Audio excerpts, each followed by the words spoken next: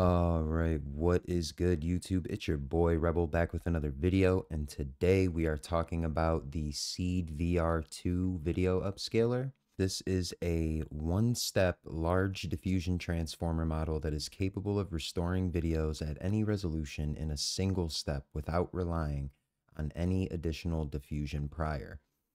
So this upscaler, without like getting too much into the technical aspects, is a beast.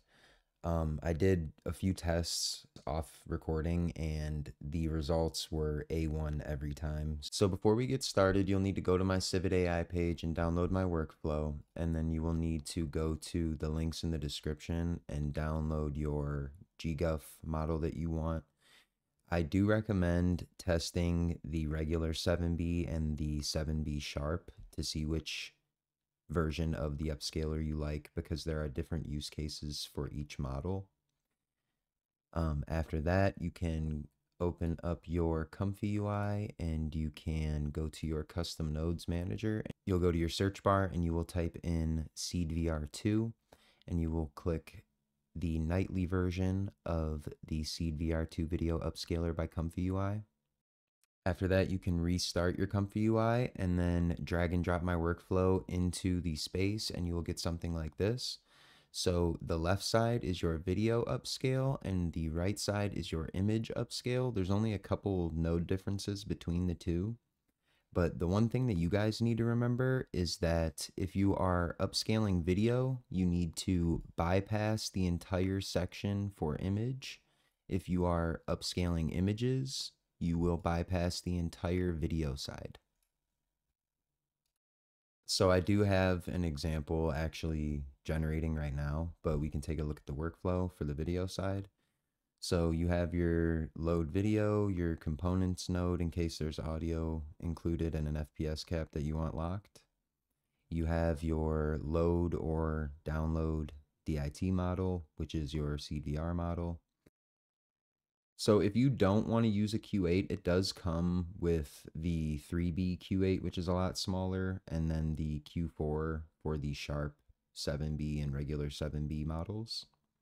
But I chose the Q8 because it's 8 gigabytes. One thing to remember is that the biggest version of the GGUF is only around 9 gigabytes. So if you have 8 gigabytes of VRAM, you're going to be able to back this with 8 gigabytes of regular RAM, and you're not going to have any out of memory errors. So moving on to the VAE node. So this is an FP16 safe tensor. I don't know if there's an FP8 or any scaled safe tensors for this VAE. I believe this is the only one available right now. Um, and then this is your video upscaling node, the actual node that does the work behind the workflow. Now, one thing that I'm going to express is one, you have the option to up your resolution from 1080p to 2160 if you'd like. I mean, you can really choose the resolution that you want. But the thing that you need to remember is keep your batch size below 10. I do recommend 5 and or 1. So if you want to batch as much as you can, go for 5. If you want to keep you know, the workflow as low VRAM intensive as possible, you're going to want to keep that at one. The downside to using a low batch size is temporal consistency between frames. So what this workflow is essentially doing is it's taking every frame from the video and lining them up and upscaling them in batches, right? So your batch size is telling it how many frames you want in each group to be upscaled at a time. Now, choosing five gives you five clear frames across the board being generated in the batch with the same upscaling techniques that are being used on the first image to the fifth image. It's just going to be more consistent. So if you use one, yes, every image will be upscaled to quality, but they might not have temporal consistency, meaning like the visual aspects behind motion may be unclear between frames. So 5 to 10 is going to give you a clear motion upscale, but keeping the batch from 5 to 1 will lower that consistency, but still keep the workflow from getting um errors. I hope that helps. Don't touch probably anything else in here unless you want to turn off color correction, but I do recommend leaving that on. Uh, other than that, I did remove the torch compile and block swap nodes and replaced them with clean VRAM and clear cache nodes to help lessen the load on the CPU and the VRAM. And after that, it is just a create video node locked at the FPS from the video that saves into a save video node. The image upscale workflow section is exactly the same. The only thing that it's actually missing are the video component nodes. So these three nodes.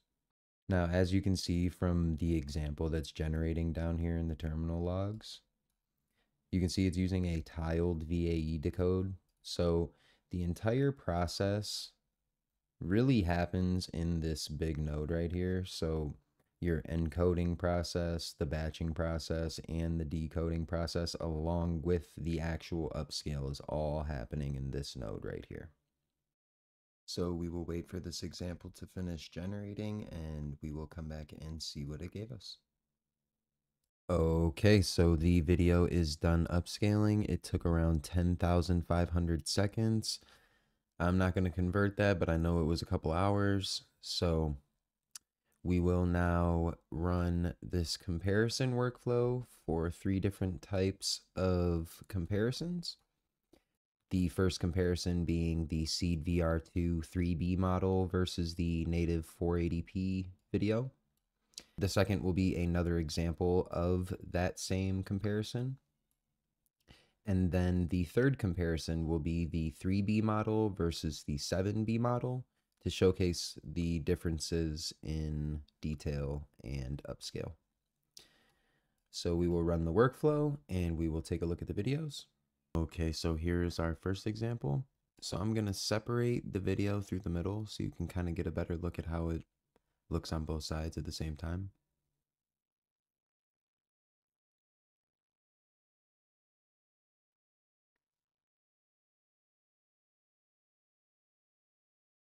Okay, and here's our second example. So this is the SeedVR2 3B model versus the 480p. And you can really see in this one with the brightness how and the amount of detail how it kind of shines like really well. A lot of um, detail enhancement as well as detail generation that wasn't there before you can kind of see.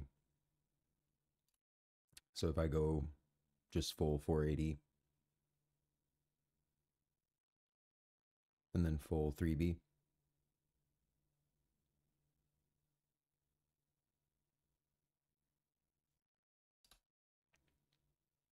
Okay, so this is the third and final example, and this is going to be the 7B model versus the 3B, and you can really see the 7 versus the 3, which one is actually very strong. There's a lot more detail enhancement. The sharpness is increased dramatically. And that's just in 4 billion parameter difference.